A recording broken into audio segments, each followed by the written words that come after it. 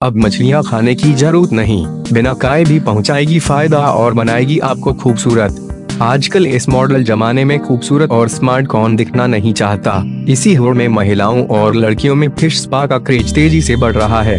इसमें मछलियाँ आपके शरीर के डेड सेल को खाकर साफ़ करती हैं। अगर आप वीकेंड पर मॉल या कहीं और घूमने जा रहे हैं तो फ़िश स्पा का आनंद उठा सकते हैं। तो चलिए आज जानते हैं क्या है यह फ़िश स्पा और इसके फ़ायदे। क्या है फ़िश स्पा? फ़िश स्पा एक नए तरीके का स्पा है, जिसमें स्पा करने का काम एक विशेष तरह की मछलियाँ, डॉक्टर फ़िश, गारा रखा फ़िश करती है। यह खासकर आपके कोमल पैरों के लिए है। यह पेडिक्योर और मेनिक्योर की तरह ही होता है। प्राकृतिक होने के कारण इसे प्राकृतिक पेडिक्योर के नाम से भी जाना जाता है।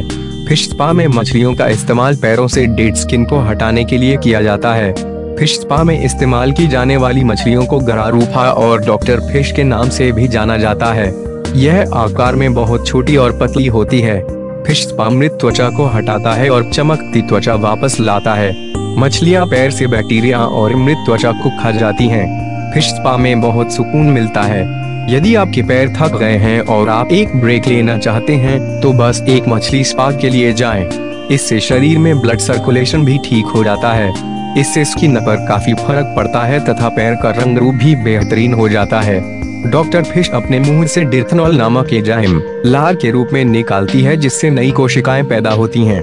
फ़िश स्पा कराने से आपकी दिन भर की थकान दूर होगी और आपको काफ़ी आराम का अनुभव होगा।